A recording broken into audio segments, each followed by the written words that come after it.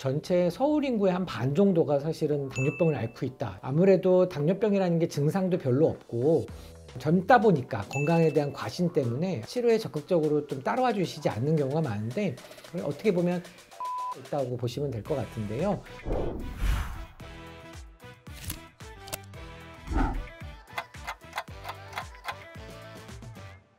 안녕하세요. 저는 내분비내과의 유원상 교수입니다.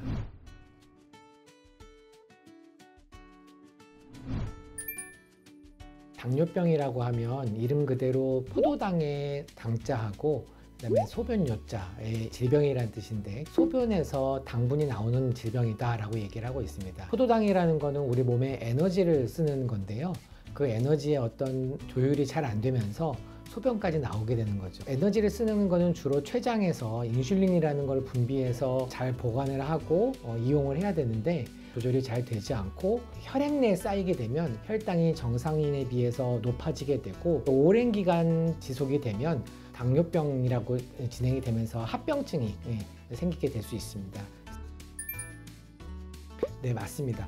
당뇨병이라는 거는 일단 당뇨병이라고 진단되는 그 시기 자체가 이미 많이 진행된 시기에 진단을 하기 때문에 어, 한 번 진단이 되면 태어날 때처럼 완전히 돌아갈 수는 없습니다. 한 가지 주의할 점 또는 좀 잘못된 점을 말씀을 드리고자 한다면 당뇨병이라고 해서 무조건 한 번 약을 먹으면 평생 약을 먹고 이런 것이 아니고 어, 치료의 개념은 계속 유지를 해야 됩니다. 어, 음식이나 운동 이런 것들을 생활 습관 교정을 잘하면 특별히 다른 약을 먹지 않고도 정상인의 혈당을 유지하고 정상 생활을 꾸준히 유지할 수가 있기 때문에 한 번 걸리면 유지가 된다는 말은 맞지만 계속 똑같은 약을 계속 먹어야 된다 이런 건 또 틀린 말이다 라고 말씀드릴 수 있겠습니다. 우리나라 전체 당뇨 인구수는 약 한 500만 정도 된다고 보고되고 있는데 전체 서울 인구의 한 반 정도가 사실은 당뇨병을 앓고 있다 이렇게 될 정도로 굉장히 많다라고 말씀을 드릴 수 있겠고요. 특이한 점은 노인 인구가 늘어나면서 노인 당뇨병도 늘어나지만 젊은 연령 인구는 줄어드는데 20, 30대의 젊은 당뇨병 환자 수는 오히려 늘어나고 있습니다. 여러 가지 뭐 디지털 기기라든지 교통수단의 발달로 인해서 운동이 많이 줄어들고 서구화된 생활 습관, 칼로리가 높은 음식들, 인스턴트 음식들이 보편화되면서 젊은 인구에서 많이 늘어나고 있는 것이 아닐까라고 생각이 듭니다.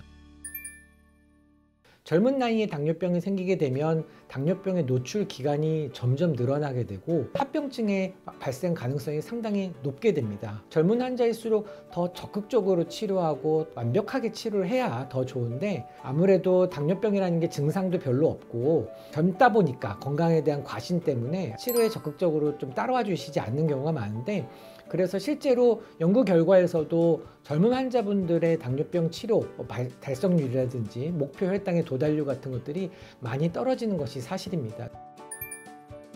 절대 그렇지 않습니다. 우리가 당뇨병 약은 상당히 많은 종류의 약이 있고 기전도 굉장히 다양한데 대부분의 약들이 우리 몸의 혈당 조절을 옆에서 도와주는 즉 췌장에서 인슐린을 분비해서 혈당 조절을 하는 건데 당뇨병이 처음 진단이 되면 적극적으로 약제를 조기에 사용을 해서 췌장 기능을 꾸준히 유지할 수 있도록 하는 것이 당뇨병 치료의 핵심이라고 볼 수 있습니다. 전당뇨는 당뇨병 진단 기준에 해당하지 못하는데 정상은 또 아닌 당뇨병과 정상인의 가운데에 해당되는 사람들을 얘기합니다.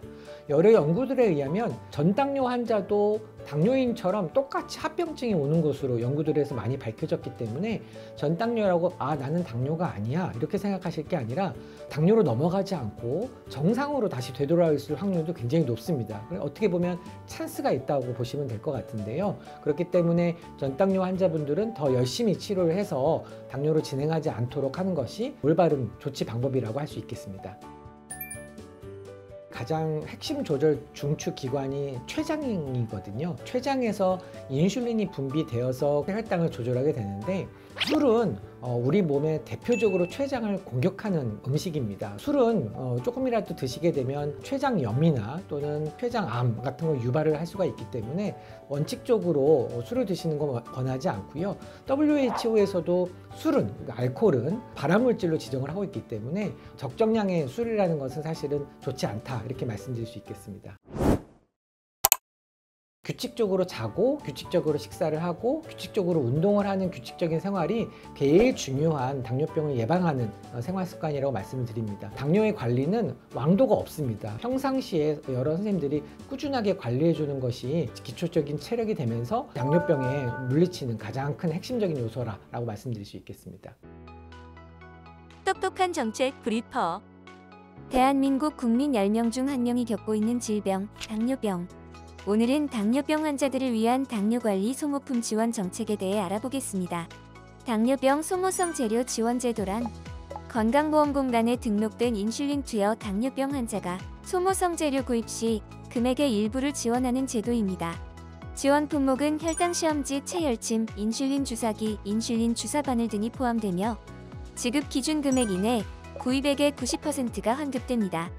기준 금액이 초과될 경우 기준 금액 90%에 해당하는 금액을 환급받게 됩니다. 신청 방법은 건강보험공단의 당뇨병 환자 등록 후 병원에서 소모품 처방전을 발급받고 소모품을 구매한 뒤 홈페이지 등을 통해 지원비를 신청합니다. 대한민국 모든 국민이 건강해지는 그날까지 똑딱 5분 100세 건강이 함께합니다.